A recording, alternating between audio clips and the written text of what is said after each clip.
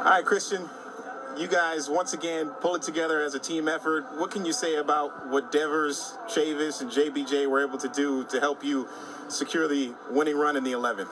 It was a team effort. You know, I think everybody put something. You know, Jackie made good one, and, and the first two guys.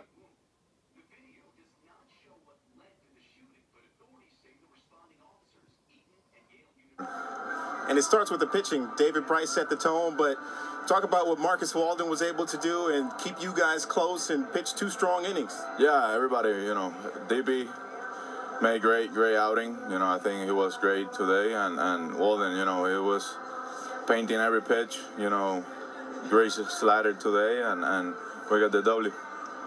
26 hits over the course of this series for you guys as a club. You're in the midst of this 20 game straight stretch.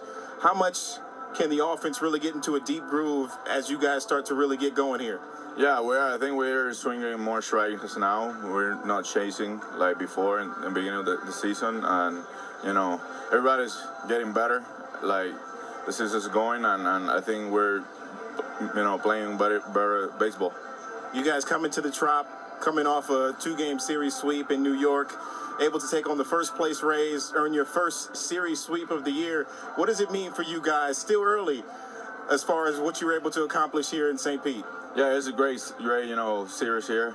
You know, we're playing, I think, one of the hottest uh, team in, in baseball right now, Rays, and you know we play good ball here. Uh, that's a good beginning of you know April, so I think we're gonna turn the page. All right, 10 game homestand up next. Thanks a lot, Christian. Thank you, guys.